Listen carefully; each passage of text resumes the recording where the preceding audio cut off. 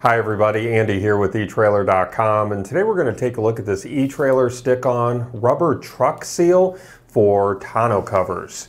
This, with this stick-on rubber seal, you're going to be able to replace your old and worn-out seal around your tonneau cover before water damage could create a costly headache for you. Now this is a peel and stick installation with pre-applied 3M adhesive backing.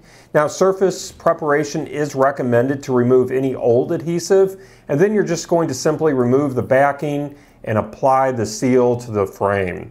And then you would just use scissors to trim any extra seal and this will set in about 48 hours. Now this is made here in the USA of EPDM rubber. This is not going to shrink crack or fade over time, and it's also resistant to UV damage.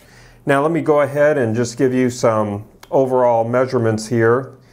Get my ruler here. Looking at the overall width of this seal, as you can see, we're sitting right at one and a half inches.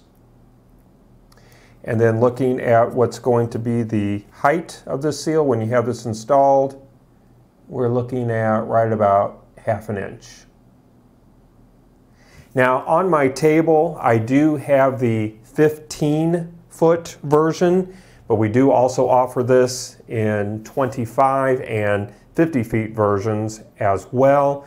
So on your screen, I am including the item numbers uh, for those respective lengths. So whichever length you are looking for, whether it's the 15, the 25, or the 50 foot version, just take the item number and put it in the search field of our website and it will take you to that length that you are looking for.